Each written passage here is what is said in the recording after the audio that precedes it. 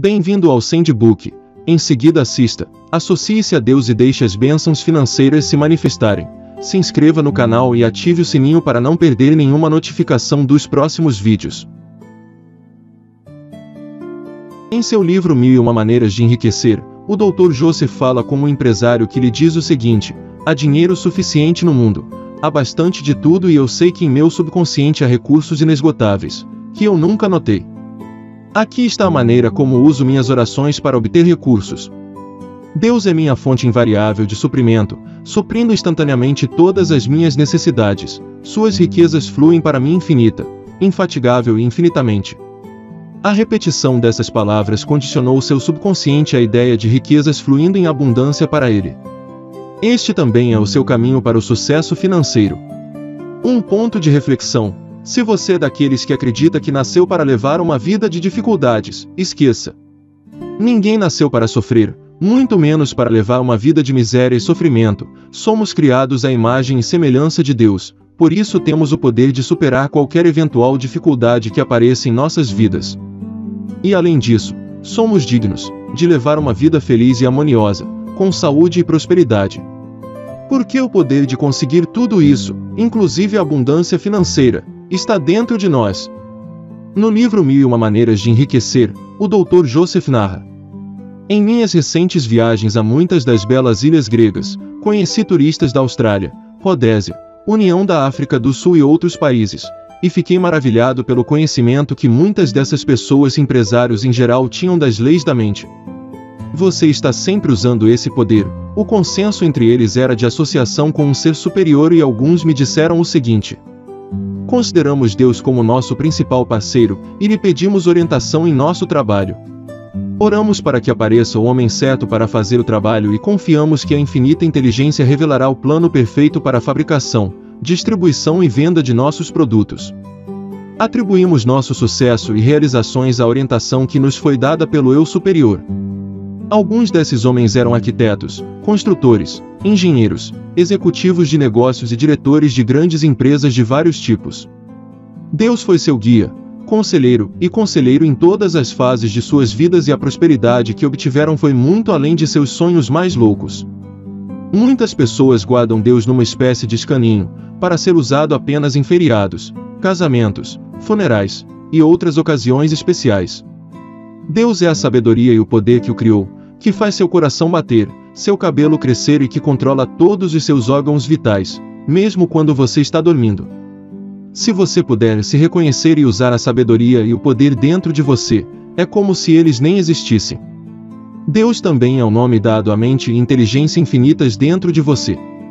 De fato, consciente ou inconscientemente, por exemplo, quando você levanta um dedo, você está usando o poder de Deus que o capacita a fazer isso, e quando você resolve um problema, a solução é fornecida a você por sua inteligência criativa interior.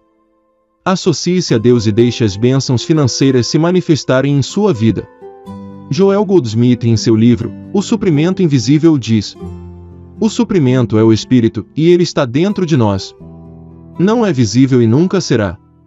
Ele escapa ao olhar humano, não o sentimos com nossos dedos humanos, nunca ouvimos ou provamos. O que vemos no mundo exterior são as formas que o suprimento assume. Externamente, a oferta assume a forma de dinheiro, comida, vestuário, habitação, transporte, capital de negócios, etc.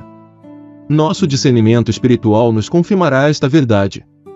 Mais tarde teremos a prova disso não porque poderemos ver a oferta, mas porque seremos capazes de reconhecer as formas que ela assume. A oferta é infinita e onipresente, onde quer que estejamos. Como Moisés, podemos entender que não precisamos viver do maná de ontem, nem armazenar o maná de hoje para amanhã. O suprimento é inesgotável. Assim você pode ter toda a abundância financeira que merece.